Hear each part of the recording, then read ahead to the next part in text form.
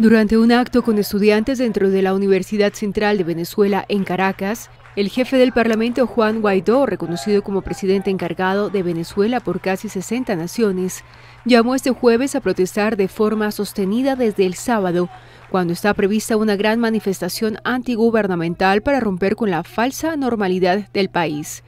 Guaidó adelantó que su agenda de conflicto, que incluye manifestaciones callejeras y que no tiene una duración determinada, contempla una posible represión a las protestas como ya ha ocurrido en el pasado por parte de la fuerza pública.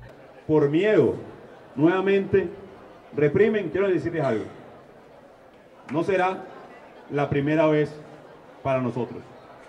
No será la primera vez para ninguno de nosotros que sí nos hemos mantenido en la calle una y otra vez.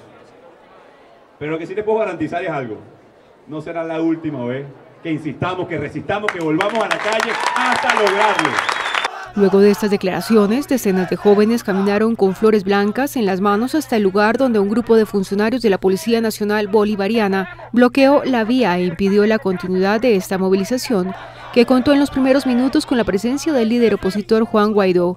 Los manifestantes intentaron persuadir a los agentes de la PNB y de la Guardia Nacional Bolivariana para que les permitieran continuar la movilización, pero fueron disuadidos con gas pimienta.